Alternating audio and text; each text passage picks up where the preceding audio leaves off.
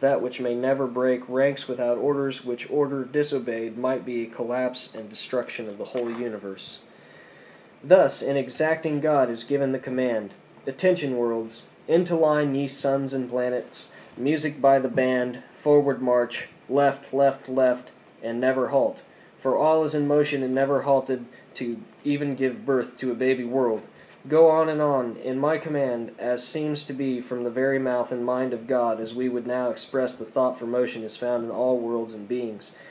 We are conducted by thought to the power of mind, with all its works and beauties, with the exacting commands of perfection. At this time we are left in the midst of an ocean of thought, with some evidence that by combining the brain with the heart, we see its force and source by which the machinery of life is driven, of which we will tell you more of what we see pass before our telescope in the far off hidden mysteries as we grow older and wiser, if ever. From my lack of knowledge and want of wisdom as an operative engineer, I must halt and take a place of speculata- speculative brother gone from labor to refreshments for all the days of my life.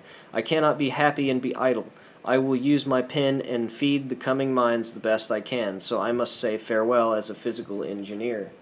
From the day of Moses until the present time, by habit and education, we have been taught to believe and depend upon drugs as the only known method of obtaining relief from pain, sickness, and death. By habit and use of drugs and sickness through so many generations, we as a people think there is no remedy outside of them, and as the mind has been so unalterably fixed on that thought for so many years during all ages of the past, people have felt it a duty, if not a necessity, to be go- governed by established customs. We feel when our friends are sick we must do something to relieve them. If the household remedies fail, we call on the family doctor and turn the case over to him. And he will call counsel, and when he feels he cannot manage the disease, then if the patient dies, the family and friends are satisfied that all had been done for the sufferer that was possible, every known remedy and skill has been exhausted, and we must be content with the results. Death has prevailed, and we feel that we have done our duty. I wish to say that the graduates who are about to go out in the world, and that I entered this contest, I took as my foundation to build upon the whole universe with its worlds, men and women, fishes, fowls, and beasts, with all their forms and principles of life were formulated by the main uh, mind of an unerring God. He has placed all the principles of motion, life, and all its remedies to be used in sickness inside of the human body he has placed them somewhere in the structure if he knew how, or he has left his machinery of life at the very point wherein his skill should execute its most important work. I have given you the reasons which why I believed I was warranted in testing God's skill as a doctor and must proceed cautiously to my duty. How to do all the all absorbing question of my mind, I finally concluded that I would do like unto a carpenter when he knows he has the elements to contend with and desires to cover an old house with new shingles. If he takes the shingles off all off at once, he exposes all that is in the house to rain, hail, or what may be in the elements. A wise carpenter would take off a few at a time and cover what had been exposed before proceeding further. I knew it would not do to take the shingles of hope, medicine, off the afflicted all at once. I felt that such a move, with my knowledge of cause and effect, would be calamitous. Soon I met a case of flux, and being a physician and familiar with the remedies for such diseases, such questions as those as these arose. What was God's remedy? Has God a drugstore? Does he use sedatives for flux? Does he use sweating powders, such as Dovers and so forth? Does he use astringents? Does he use alcohol in any form in prostration and if he does, what does he use it for? And why is it one dies with flux and another gets well after having used the same remedies? Would our dead patients have lived had we kept our drugs out of him? Did the, did the convalescent have the power to resist both disease and drugs? You may answer the question. I cannot. One is dead, the other alive, and that is all I know about it. And my brother councilman expresses the same feeling and says, I do not know with all remedies seemed seemed when all remedies seemed to fail in my first case of flux I felt I had done my duty and no censor would follow in case of death. Myself and council had agreed that this case was bound to die. Without any instruction or textbook to be governed by, I concluded to take one shingle off the spinal cord and see if I could not put a new one in its place that would do better.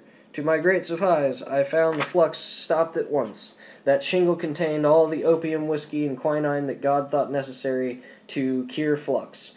That shingle took the pain out, the fever off, and stopped the discharge from the bowels, and may, my confidence in drugs was very badly shaken then and there. I soon had opportunities to treat many more cases of flux, all of which recovered without the use of any drug that was recommended by our standard authorities, which convinced me that the laws of God are trustworthy when thoroughly understood. By investigation, I was led to a better understanding of, of the cause of flux, and that flux was an effect that could be traced to a cause in the spinal cord and other nerves, and the remedy should be addressed to cause and not the effect. I fe- felt proud to be able to say that the people that I could throw all the known remedies for flux out of the window and give them a reliable and demonstrative substitute that I had found on a prescription written by the hand of the infinite.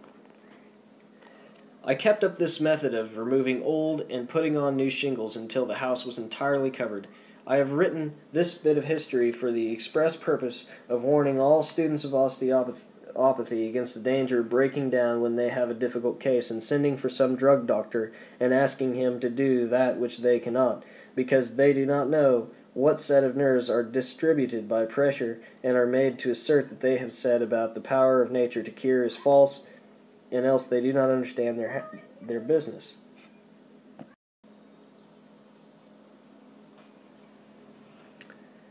There are some osteopaths out in the field trying to treat osteopathically and yet have a drug doctor running around with them. If one will examine their work, he will find such persons feeble in osteopathic knowledge with less than one year in school previous to the time of offering their services to the people. You are apt to find on their cards such and such MDs in our office, with a great long apology for our ignorance, and say we do thus and say to please the people. Every drug tolerated by an osteopath in a disease will shake the confidence of your most intelligent, intelligent patients and cause them to always take your words, skill, and ability at a great discount. I would advise you to bathe your heads long and often in the rivers of divine confidence, and pray God to take care of you with other weak minded people who pretend to know that which they have not studied. Rely on your anatomy, physiology, and rub your heads, or deny the perfection of God and intelligence, and say, I am only osteopathy in one pocket and pills in the other, and none in my head. Much more could be written on this line, but I have said enough to warn you against being a kite tail to any system of drugs which is your most deadly enemy. A doctor will use you for what money he can get out of you. Osteopathy is now legalized in four states and you do not have to compromise your profession nor your dignity by associating with anything. Your opportunities from the American School of Osteopathy to master the science are good, for your foundation is solid. I want you to come back with heads up, and on your return, I want you to say, I have transacted my business as the institution teaches me, without the aid or assistance of any medical doctor either before or behind me I have proven that the laws of the infinite are all sufficient when properly administered. When you are out in the field, the medical doctors will sail around you like buzzards do over a sick cow, pick your eyes out, and fill their pockets from your labor, and that is all they use they have for you.